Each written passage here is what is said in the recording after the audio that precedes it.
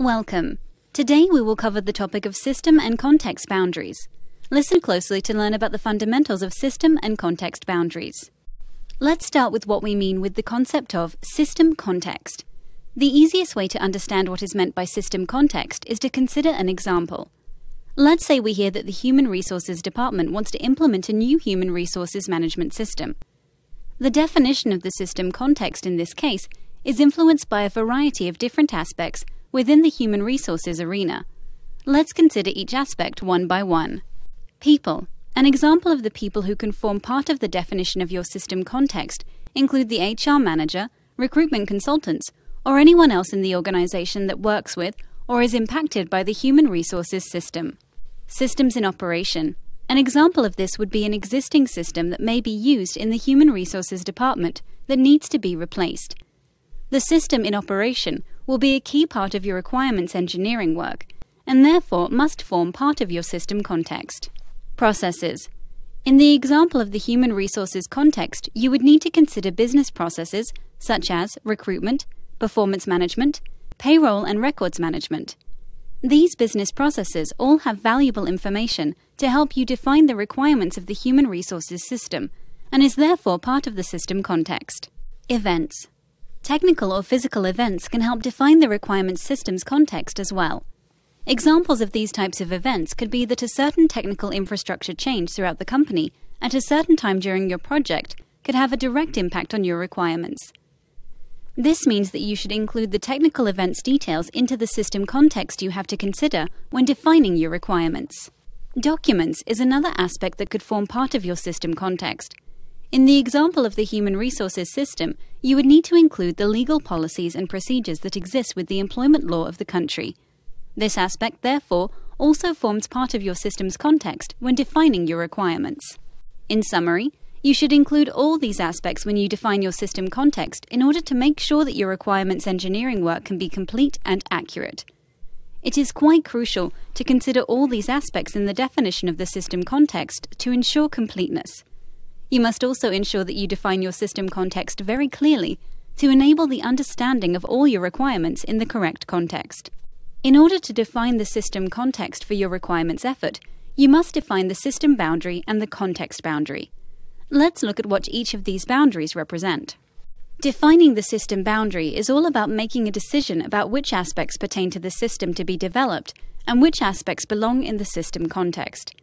In the example of the human resources system, consider which aspects is part of the human resources system and which parts are only informing the requirements for the system. The human resources system need to include all the functionality that is currently available in the current system, but the system doesn't manage employment contracts.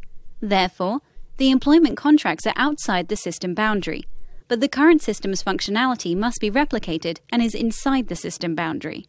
Now let's look at defining the context boundary. The decision you have to make here is whether the aspect you're considering is within the context of the system or whether it is not relevant at all to the planned system. For example, in the human resources system example, the employment contracts is relevant to the human resources system and is therefore within the context boundary of the requirements efforts. However, if you consider the fact that the organization will be upgrading their printers at the same time of your project, you will place this outside the context boundary because this has no impact and is completely irrelevant to your requirements for the human resources system. If you are able to consider these decisions about the system and context boundary, when you consider all the key aspects people, process, systems, events, and documents, you will be defining your system context with ease and clarity. There are three other key concepts for you to understand sources, sinks, and the gray zone. Let's take these one by one and see what they mean. Sources are the inputs to the system. These are often stakeholders or technical and non technical system interfaces. In our example of the human resources system, we could see the document management system as a potential source of recruitment approval information. This could potentially be a technical interface into our system and therefore seen as a potential source into our system.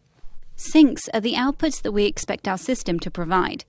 Again, these could be technical interfaces or reports that manually informs and supports other processes.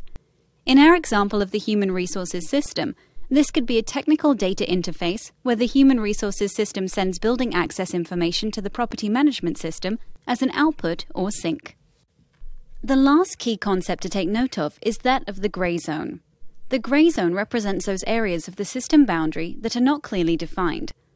Often, the system boundary is only completely defined towards the end of the requirements engineering process.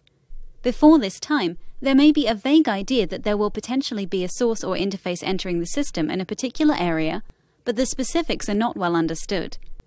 This then becomes the grey zone. In our human resources system example, we may not be 100% sure whether our system will have a payroll module, and therefore this may or may not fall within the system boundary. Well done for sticking with me through this lesson. It is a fundamental and important topic for every requirements engineer to understand and apply correctly. I look forward to sharing the next topic with you in the next video.